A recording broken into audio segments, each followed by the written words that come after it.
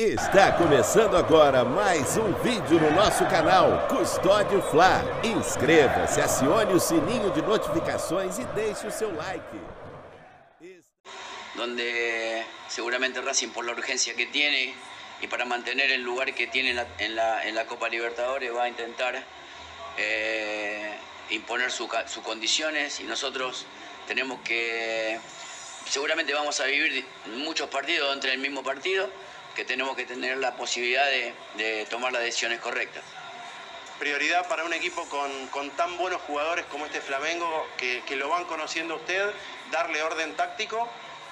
Sí, estructura. Básicamente nosotros llegamos hace menos de 15 días, entonces con muchos partidos en el medio y con muchas ausencias también.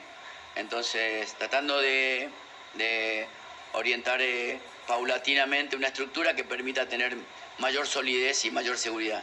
¿Especial para usted volver a dirigir un partido en la Argentina y enfrente además Fernando Gago, a quien lo dirigió?